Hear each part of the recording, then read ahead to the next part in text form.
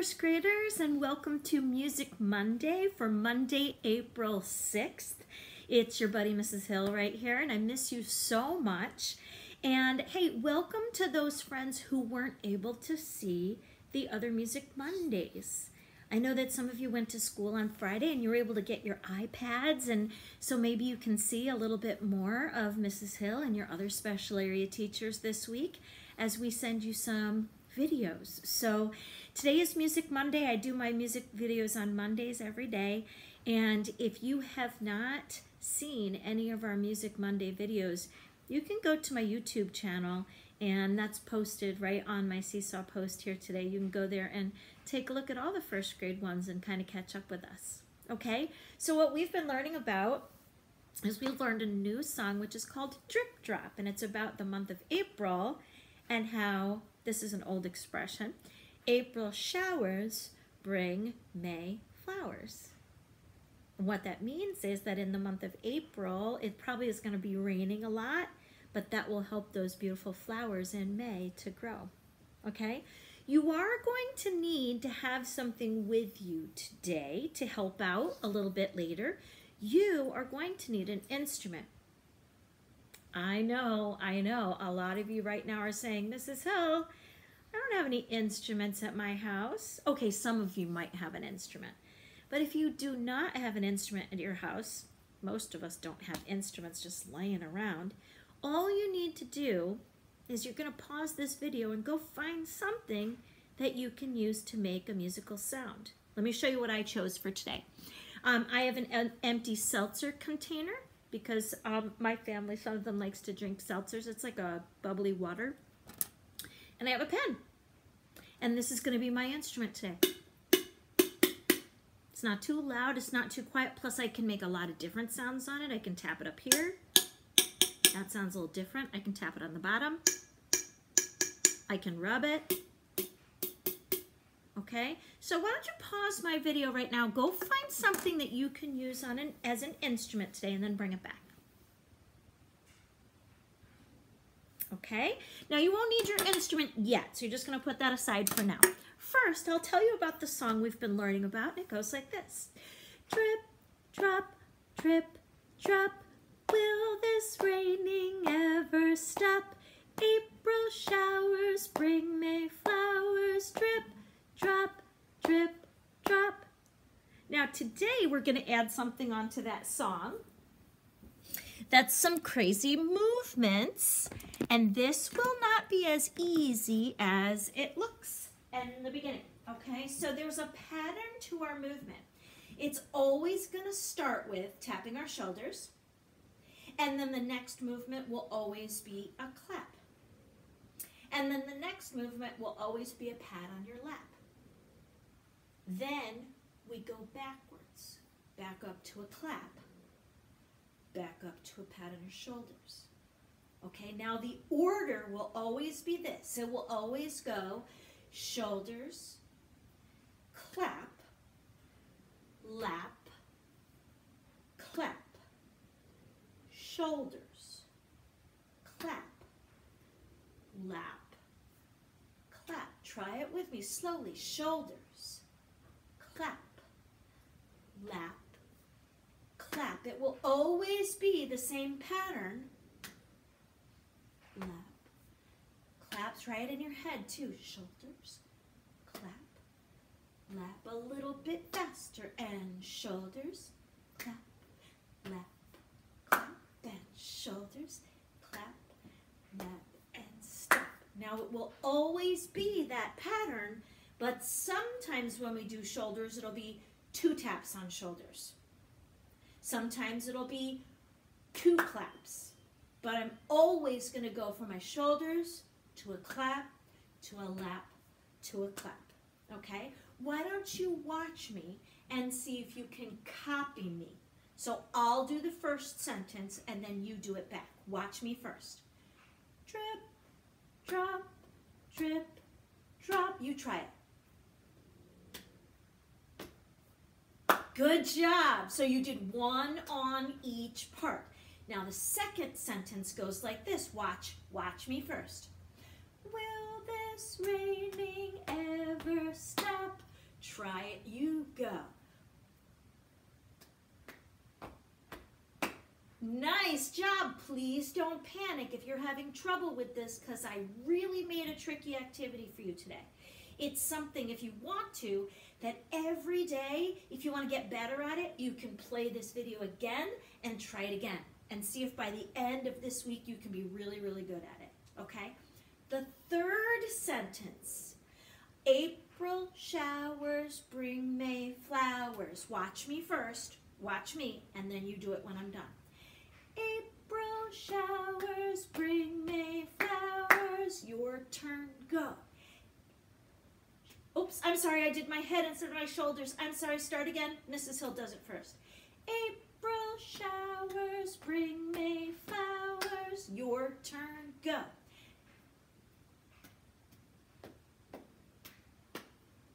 You got it? Okay, because it matches the rhythm that we have in our song. The last sentence is the same as the first. Watch me. Trip, drop, trip, drop. Your turn, go. Trip, drop, trip, drop. I am so sorry if I added my head into some of those. Originally, I was thinking I was going to use my head as the first movement, but I decided to stick with shoulders. So now what I'm going to do is try to do the whole drip, drop, drip, drop song using that pattern. Follow along with me. Make as many mistakes as you need to, my friends, because that is how we what? That is how we learn. That's right. Here we go. From the beginning with me if you want to try it. Here we go. Drip, drop, drip, drop. Will this raining ever stop? April showers bring May flowers. Drip, drop, drip, drop. You guys are great. Thank you for trying. And again, if you want to, you can rewind this video. You can try that again. Now, what we're going to do with those rhythms today is last time on my Music Monday, I actually gave this as a picture to everybody with our hearts as heartbeats. And I asked kids to see if they could write this rhythm down for me of the song, okay, with eighth notes and quarter notes and rests. And some people did send me some. Let me just fix this so you can see me better. Some people sent me their music rhythms. This isn't the flower ones. We'll talk about those in a minute. This is just the drip, drop, drip, drop song. So this is what kids told me. In the first sentence, we have one syllable, drip, drop, drip, drop. Okay, that's what we have when we take our syllables. And if you want to catch up, go back to last week's video. You can write this down yourself if you want to. Then in our next sentence, I've got, will this, oh, that's two syllables. You know how to do this. We've done this together before. Will this raining, two syllables. If you wrote it down from last time, you can check yourself and see how you did.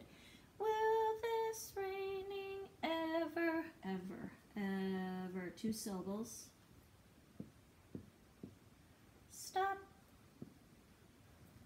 And the way that I can figure this out, my friends, is if you took a screenshot or if you just paused on this last week, each heartbeat has a word or words on it so that you can try to figure out what the syllables are for each beat, okay? In this third sentence, I've got April. You know it, eighth notes. Showers. Mm-hmm, you know it. See, some of you have to say the number of syllables first, which is two, but some of you know that anytime you hear two sounds in that beat, you know it's our eighth notes, which is really pretty smart for first grade. April showers bring May, bring May, bring May. Yep, that's two sounds. Last week I showed you how to use your chin to check that. We've done that before too. Flowers, flowers. Mm -hmm. Boy, that sentence has all eighth notes. Look at that. One and two and three and four and. That's crazy.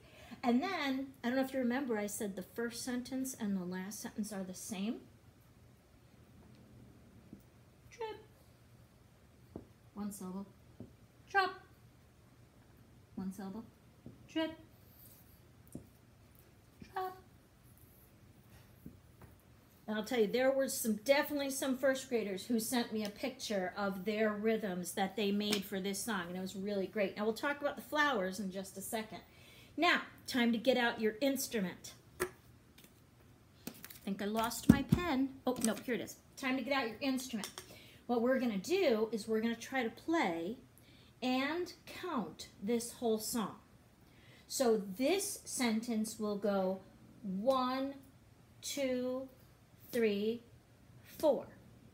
And this sentence will go one and two. Yeah, the beginning of each sentence always starts with the number one. Okay, so let's try it. I'm to play it on my um, can, okay? And you guys can try it on your instrument. Ready, go. One, two, three, four. One and two and three and four. One and two and three and four and one, two, three. I didn't get to play my can because I was pointing for you. Can I join in this time and you can read it on your own? Here we go. One, two, three. Stay with my speed, please. One and three and four.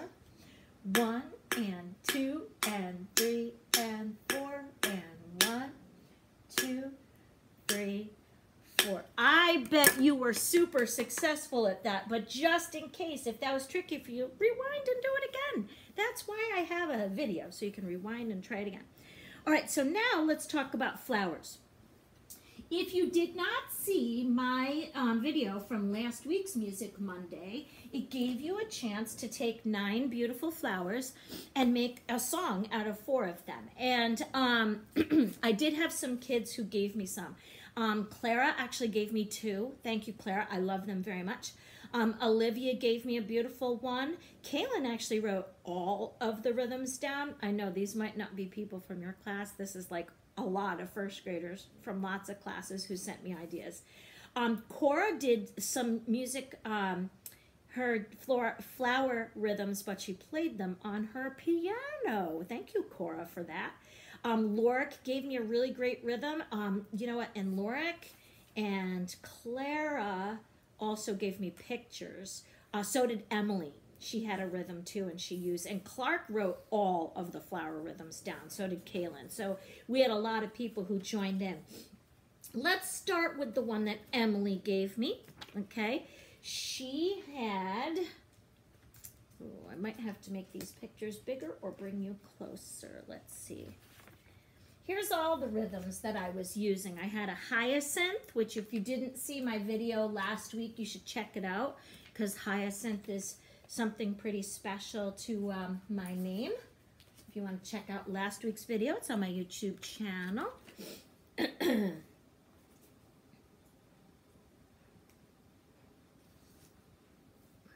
see if I can put all these up here for you to see. You don't need that one right now.